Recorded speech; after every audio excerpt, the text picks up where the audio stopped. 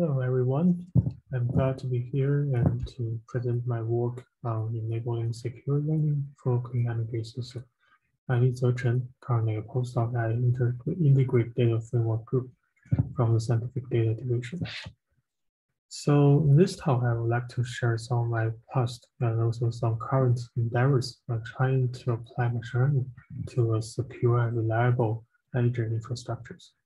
So as everyone may already know, machine learning is quite awesome and is progressing in a really fast pace these days. So what is a good machine learning algorithm for real engineering problems? And specifically, when we are considering an engineering problem, what will be a good properties? And in today's engineering scenarios, application scenarios, what could be the barriers for real practical machine learning algorithm considering all the physical system constraints and also the dynamics. And as maybe like this demand block has shown here, so for the real machine system, and we may want to let the agents, learning agents to take control well to solve many real world challenges. And this will be a final goal for the term AGI. And specifically today, I will talk about of my current application where it's on energy system and specifically on electrical power systems. So for this large scale power grid, we definitely have two sets. So for supply side and for demand side. And as today's system is becoming more and more carbon neutral, there are more renewables integrated in the system. So from the supply side, we will have more stochastic signals coming from all the solar and wind generations. And we get all the measurements, like sensor measurements and PMU measurements from all the supply as well demand side, and design our control box to close the loop between system modeling and the control decision making. Well, for our current research on machine learning, people is really interested to say, can we automate this process from collecting all the data, doing data processing, to giving a robust and reliable decision-making algorithm, say dispatching the power or getting the good scheduling for different renewable generations, and such system can be stable and also supply and demand side will be balanced all the time. And machine can definitely help in many ways. For example, it can give you a better modeling about how the system set, say what will be happening given current data and we can help you find a good decision, say the most economical or the most carbon, least carbon intensive solutions for supply and demand balance. And for our case here, we will talk maybe two parts. So first part, how can we design these kind of control boxes to make sure the decision itself is secure and also we have some benchmarking framework. And the second part, with regard to all the system uncertainties, how do we deal with them? And how can we make sure the decisions are robust against all stochastic scenarios and analysis? And in today's talk, the first part we will be firstly talking about how can we find computational checkable decisions, and especially in terms of machine agents, how can we find such decisions? And in our framework, proposed framework, we propose a convex neural networks BERT can help you find the optimal controllers. And for the second part, once we have some reliable, once we have some learning agents that can be give you decisions, how can we make sure the given actions are actually reliable? For example, if you consider all the welfare risks as well as climate change risks, how can we make sure the learning agents are still can making good decisions considering all, all of this kind of scenarios? And from an attacker side or from a negative side, we will show machine algorithm can give you some certain vulnerabilities. While from the other side, we can definitely design a safety layer based on our own knowledge about the physical system, such that a physical informed machine algorithm can help you better design the algorithms. And so in this one, we specifically look into a building model where we look into a building netting model, which may consume a lot of energy. And now engineer come and may ask a question. So how can we reduce energy consumption for such a building system? And from a classical approach, we would definitely, model center. So you need to set up model for the buildings and design the control laws based on the fund, fund models.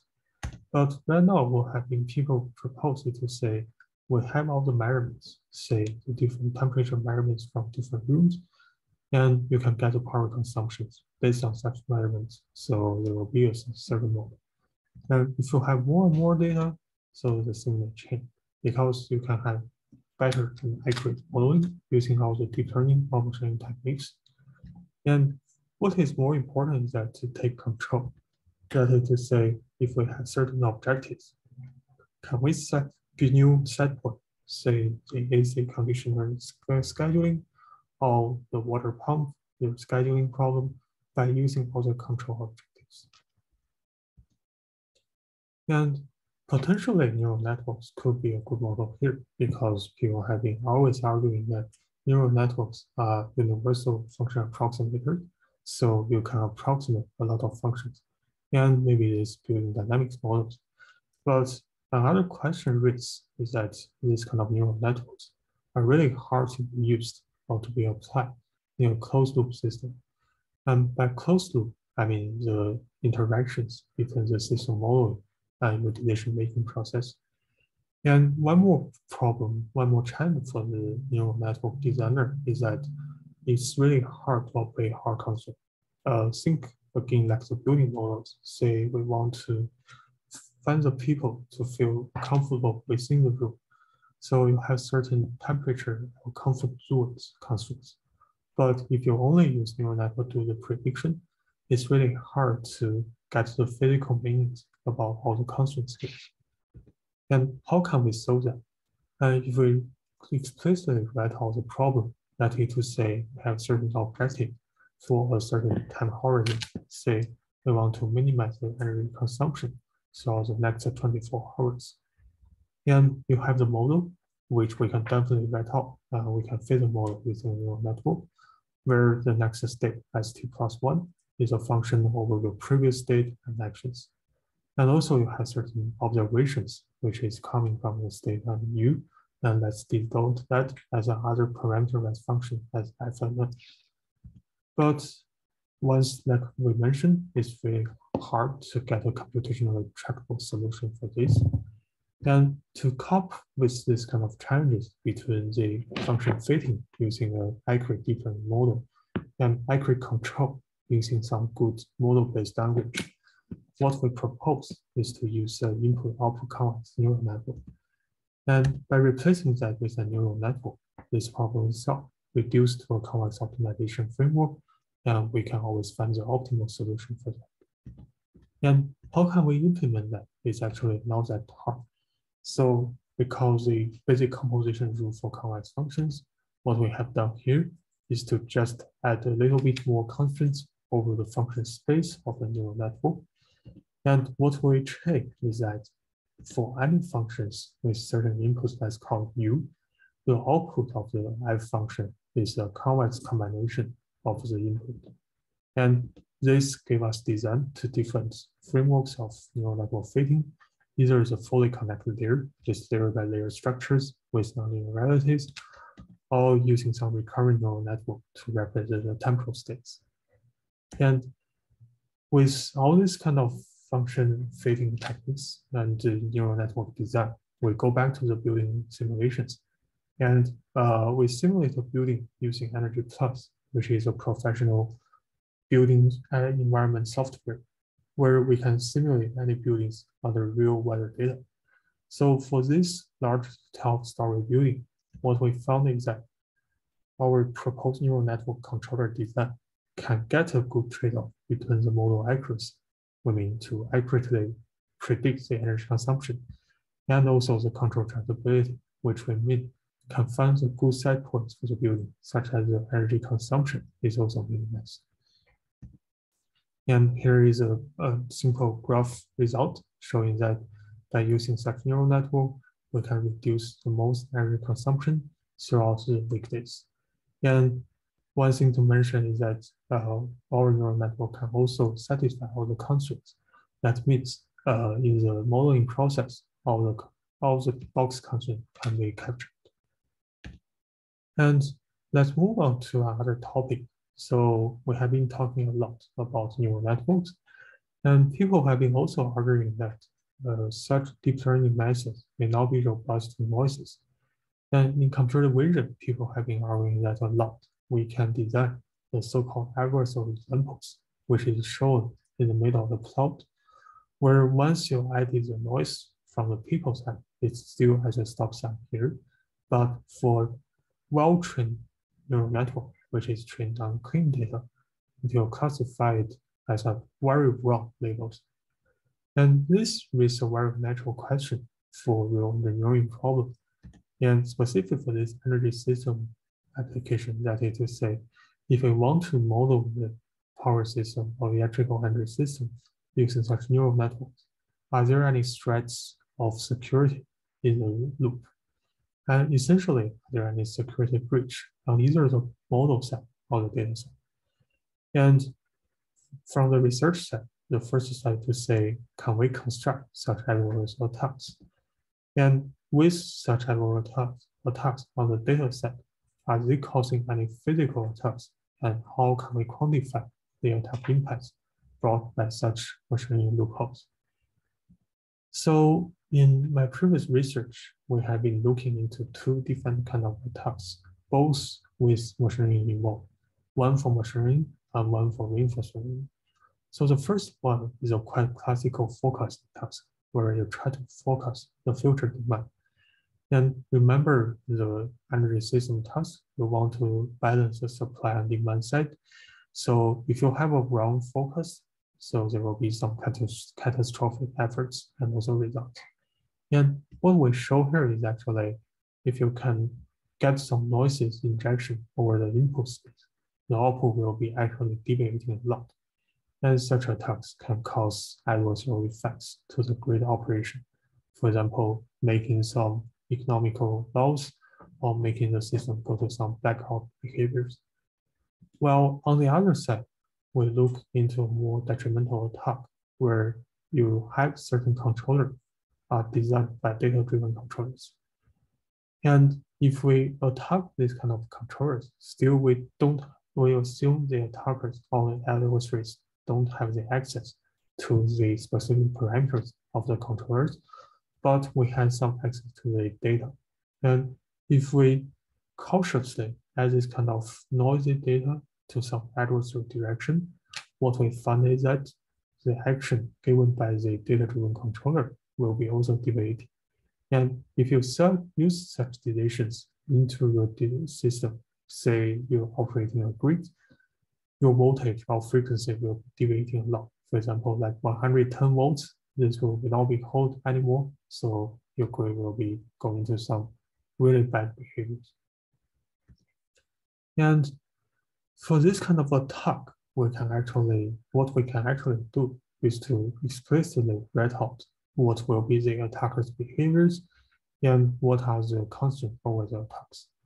And we define two kinds of attacks without any more explanation on the mathematical details. I will just brief the ideas here.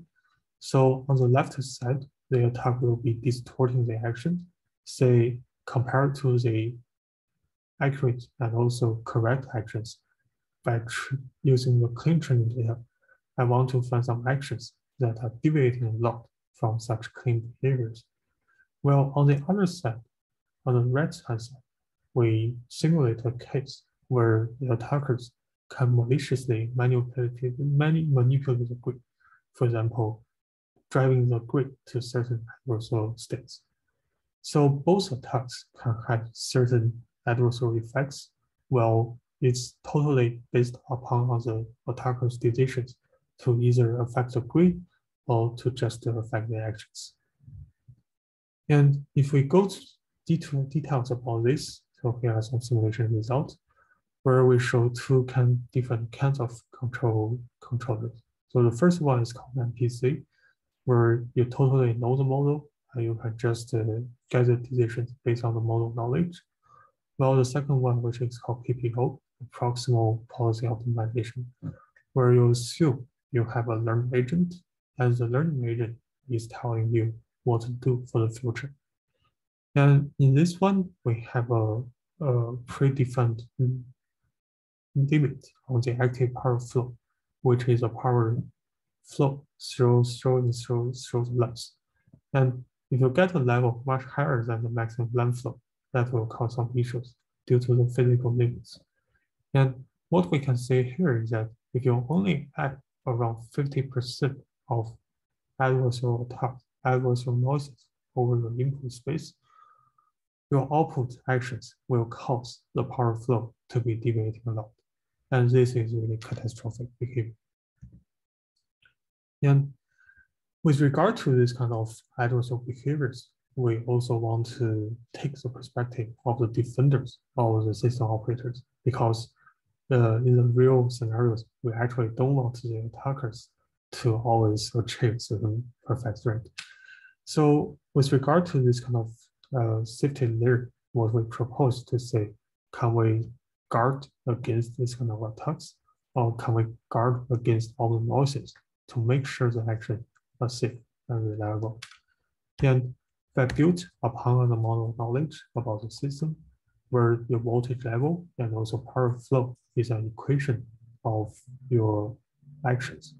And we can simulate the system, get the dynamics, and add a layer as a one more layer to the system.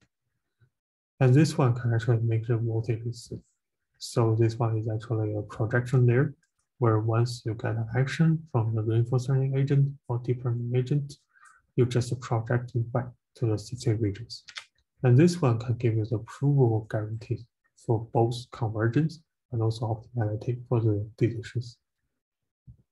So, so far in this talk, we have been looking into the security and also reliability concerns when you are integrating machine learning to real engineering system.